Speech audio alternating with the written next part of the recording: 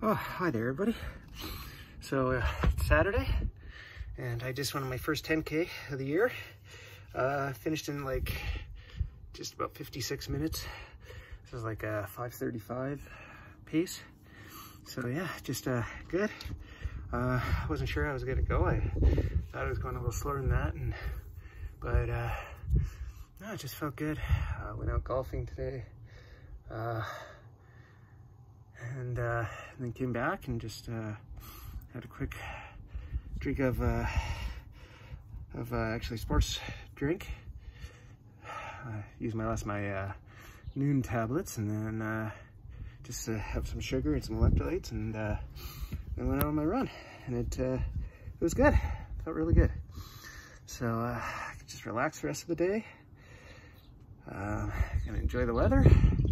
It's actually really nice, perfect for running. It's right around uh, 10, maybe 12 degrees, sunny, a little bit of a breeze. So uh, just a kind of ideal. So yeah, it's good to get that first 10K done.